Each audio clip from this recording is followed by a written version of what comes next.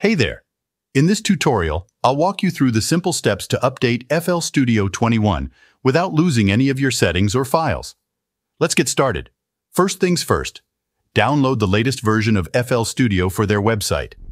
Once you've downloaded the latest update, ensure that FL Studio is not running. Next, run the update installer.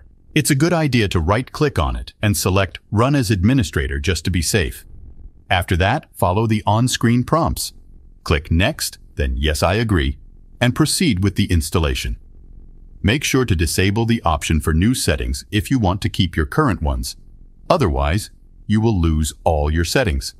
You'll also have the chance to select your VST folders during the update process.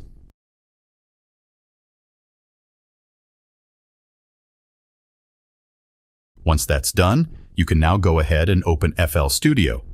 Navigate to the Help menu, then select About to confirm that you're now running the latest version. Keep in mind that you might need to re-register FL Studio after the update. If so, simply enter your username and password or import your license file. Now, if you check your File menu, you'll see that all your folders and data remain intact, just as they were before the update. Everything will stay exactly the same, and that's all there is to it. Your FL Studio is now up to date without any hassle, and you're ready to continue creating music. I hope you found this tutorial helpful. If you did, please consider liking, sharing, and subscribing for more content. Thanks for watching, and happy music making!